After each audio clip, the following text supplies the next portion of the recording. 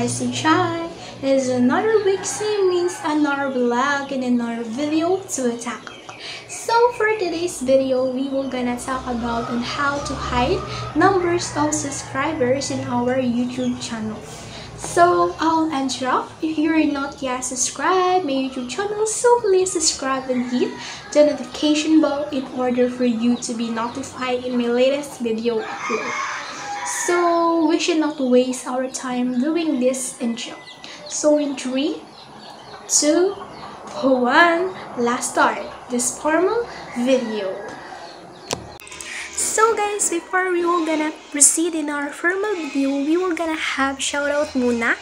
So, pa-shoutout kay Jerry Prades, pa-shoutout kay Erwin Alvor, pa-shoutout kay John Ray Ituled, pa-shoutout kay Marchon Masala, pa-shoutout kay Paula Villanueva Dalugdo, pa-shoutout kay Marvin Sabino, pa-shoutout kay Gary Tudo, pa-shoutout kay Je Langa, Pa-shoutout kay Jake Surilia.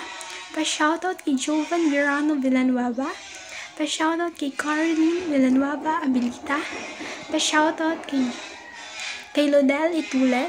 Pa-shoutout kay Alma Jamangal. Pa-shoutout kay Jessa Tanuan. At pa-shoutout kay J.M. Tambuon. So that's it guys. So kung gusto nyong i-shoutout is just comment below.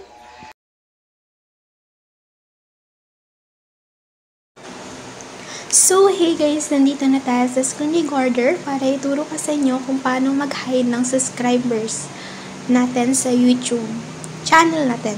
So, first step is pupunta tayo sa Google Chrome. So, ito yung actual. So, ita-type muna natin yung youtube.com.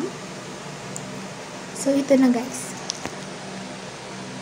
So, ito yung makikita natin guys, pero hindi pa ito yung actual.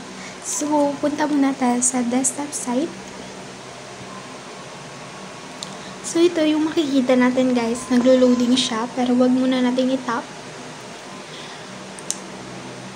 So, let's wait.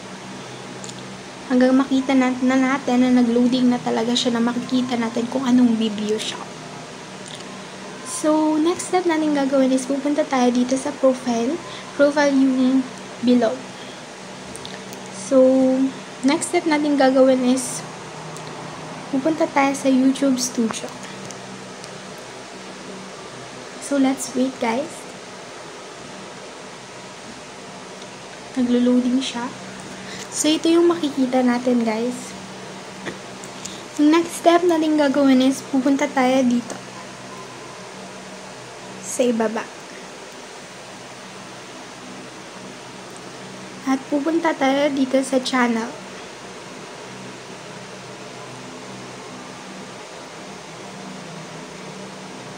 Advanced setting.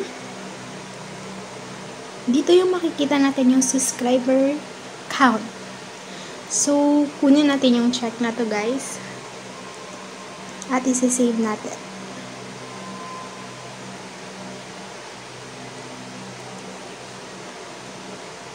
So, let's wait. Punta tayo sa mismong YouTube natin. So, ito na yung makikita natin, guys. So, ginamit ko pala yung second channel ko, guys. Pero, hindi ko talaga sinaseryoso yung channel na to. Parang, ginagawa ko lang itong example. So, ito, guys. Nawala na yung subscribers niya numbers ng subscribers niya kasi hinide ko. So, that's it guys.